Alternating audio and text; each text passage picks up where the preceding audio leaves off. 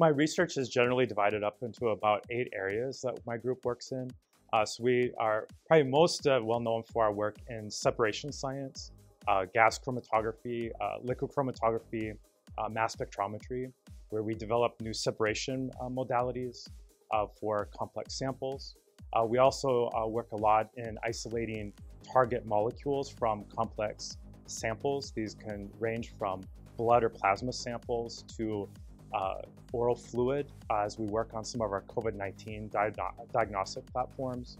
Uh, we also do a lot of work in 3D printing where we design approaches to 3D print devices that we use in chemical measurement.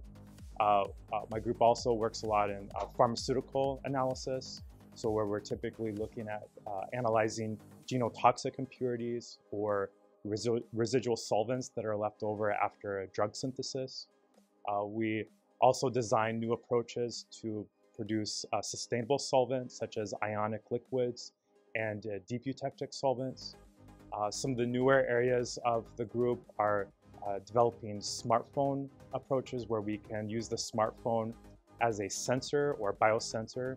And of course, this is highly portable, so you could take your device out into the field and obtain uh, diagnostic information at the point of care. So this is a very attractive approach that we're working a lot.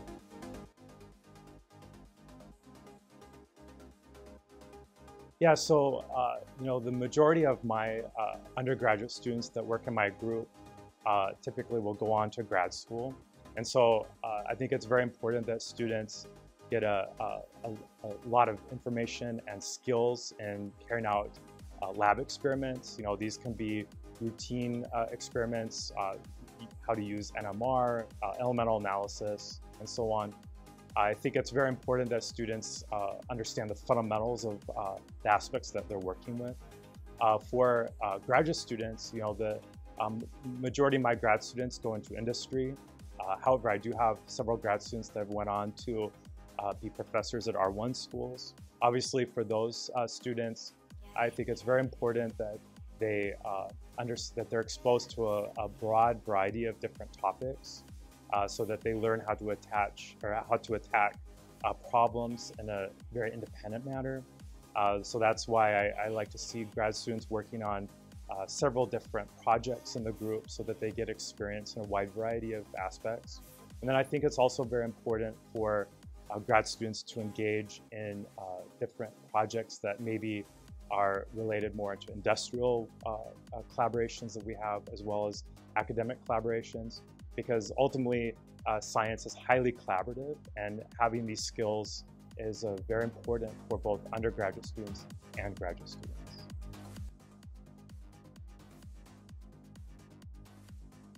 Yeah, so I, uh, my research group is highly collaborative. Um, we have collaborators uh, in Europe, Italy, Spain, uh, we have uh, strong collaborations in South America.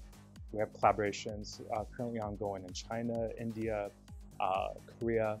So I look at uh, collaborations as extremely important, both academic collaborations as well as industrial collaborations.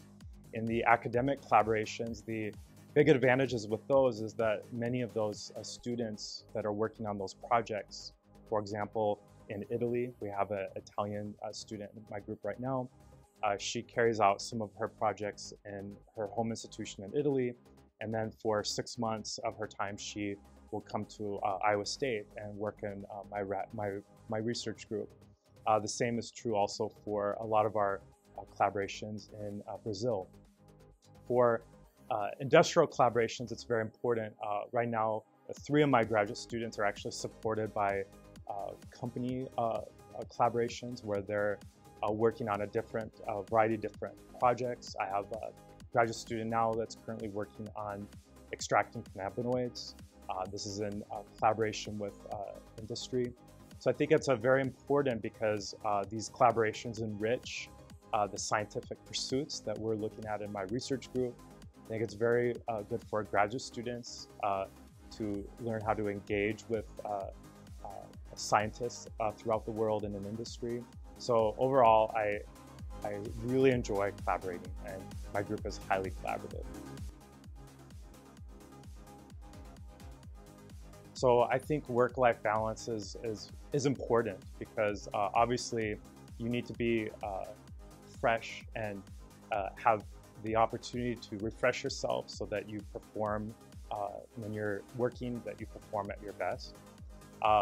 Obviously, uh, the, the aspects that you have to look at as, a, as an undergraduate student or as a graduate student is that you are making good progress on your degree. And as I, as I mentioned previously, um, my goal and the goal of uh, whether it be undergraduate student program or graduate student program is that students come out and are extremely competitive.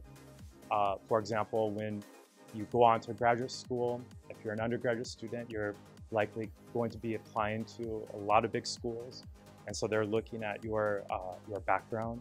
If you're a graduate student applying to faculty positions or industrial positions, obviously uh, publications and presentations and, and those kinds of things are very important. So my job as a mentor, as an advisor is to um, give the students the skills to make that happen. So obviously I think it's very important for students to balance these, uh, these ideals and to reach their final goals, but also do this in a way that, uh, that in which they can do this uh, successfully in the amount of time that is agreed upon uh, within the program.